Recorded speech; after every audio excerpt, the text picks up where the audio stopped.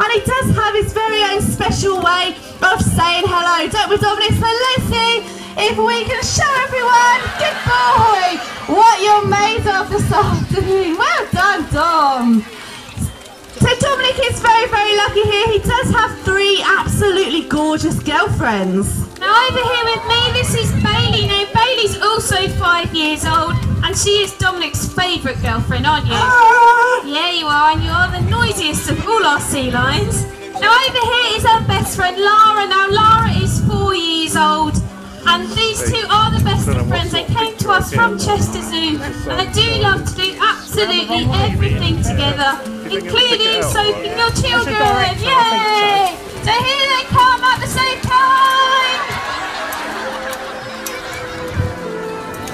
Good girl, Bailey. Little baby Kira over here on the end. So this is the baby of the group. She's only three years old. So she's still got a lot of growing to do. And she is mega, mega hyperactive, aren't we, Kira? And she's going to demonstrate by zooming around the pool here.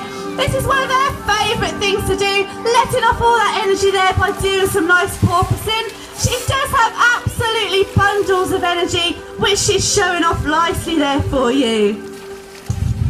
And Salt has joined us on the stage here. Salt is our 27 year old female, so you will just see her kind of chilling out throughout the show because she is in semi retirement, because she's an old lady. Sea lions usually live up to 25 to 30 years in captivity, so she's doing really, really well at the moment. So you will generally see Salt just chilling out, having a swim around in today's demo. Now here at Whipsnade we have Californian sea lions. Now as that name suggests, they are found up and down the coast of California and as far south as Mexico.